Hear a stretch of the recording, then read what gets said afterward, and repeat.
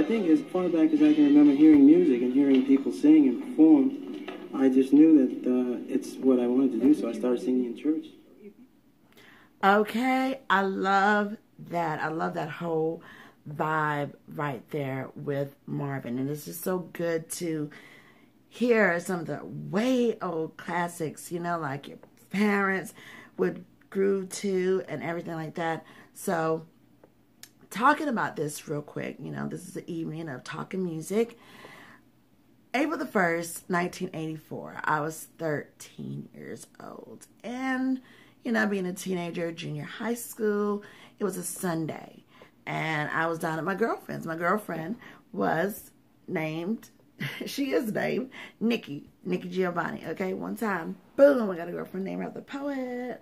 So great friends from the cradle, and then our mothers, great friends, good girlfriends still to this day. They call each other every day or every other day. You know what I'm saying? So it's just like we were doing all the teenage things, and then then the news came on the radio. And then I heard this gasp.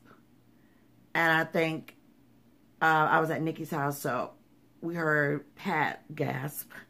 And then we heard my mom. My mom must have gasped too because my mom was down the street.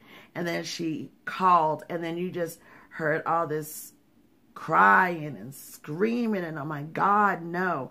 And I'm very sure when everybody got that message that hit whatever airwave they got it, you probably could hear all kind of cries and moans all around.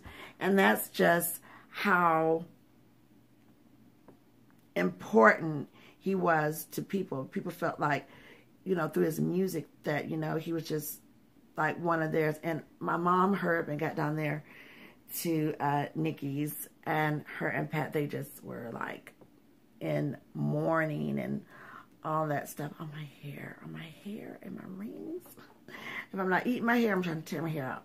But um, it was such a sad day. And it was even sadder because, you know, watching your parent just like cry and all of this. And then the way that he left the world, it was just like, oh my God. And then they just started playing all the music. So that is a memory in time that I will always remember. Um, actually, me and Nikki, we will always remember. And I bring that up a lot. And then, like, my mom, I was like, you know, boy, y'all were, like, really going through it. And then, of course, you know, his music is very generational. So um, I had a very deep appreciation of his music then um, at 13. And then it was just, that was such, that was such a, that was such a sad, bleak Sunday.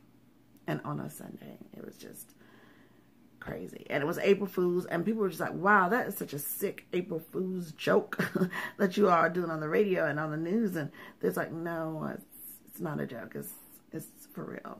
Okay. So also too, I want to give a shout out to my boy Glover, and he his birthday was April 1st and um, he has transitioned, but I always show love. So one time to Glover and one time to Chucktown and Charleston and all that good stuff. Because, you know, I'm a Seattle's chica. So that's the love. So I just want to share that moment in time. And I love those duets with him and Tammy Terrell. So, hey, we're on live stream. Y'all want to hear another jam with him and Tammy Terrell? I think so. Let's get it with the classics.